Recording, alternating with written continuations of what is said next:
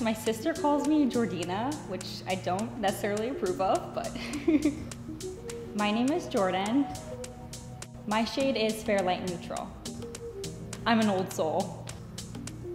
My guilty pleasure is a good shower wine, AKA drinking a nice glass of wine while taking a hot shower. Ever since I was younger, I was always applying makeup to me, my friends, my mom, anyone I could get my hands on. I love how you can be as creative as you want. I love how you can enhance your natural beauty. There are no limits. This clay stick feeds my flaws because it melts right into my skin. It's practically me.